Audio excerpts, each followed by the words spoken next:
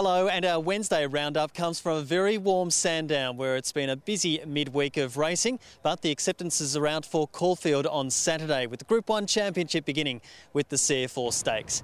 In the feature event, All Too Hard, the Guineas winner, could it be his last prep in Australia? Check out Brad Bishop's article on the Racing Victoria website for more on that. Also, Callanish, the unbeaten Callanish, is in the Orr, and also some Kiwi class with King Mufasa, who arrives in Melbourne on Wednesday night. In the Autumn Stakes, we see the return of the Derby winner, Fiveandahalfstar. Also, Hvasstan for Peter Gelagotis and Red Inca, who was a great winner at Flemington last time. As for Hvasstan, the Gelagotis stable are fairly mindful of having a light prep.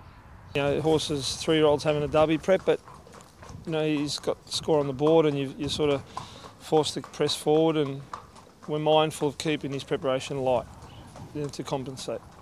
But you know, he, if he really steps up to the mark and presents himself really well, well, you know, we might change our mind and attack something a bit bigger and better. In the Group 3 Rubiton Stakes, Shanghai Warrior also makes a return and Craig Williams goes aboard the Sydney visitor at Abisi.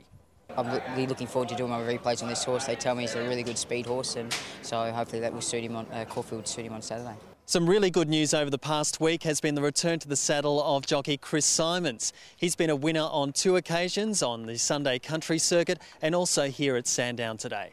Been watching a lot of videos of other riders, their styles, something I've been working on. Went out to John Patterson's out at Flemington for a couple of weeks and uh, started riding banjo bareback and just trying to get my bearings again. And I've been doing a lot on the Equisizer, which is a mechanical horse. With all the great Group 1 racing coming up, you'll want to enjoy it in style and the Group 1 pavilions, most of them are still available. They're happening for the first time on Saturday at Caulfield. There's a few spots left. They're limited to a small number, $99 a head. You can enjoy great racing vantage posts to see all the Group 1 action and also food and drink throughout the day. The other one at Caulfield is on Blue Diamond Day, the 23rd of February.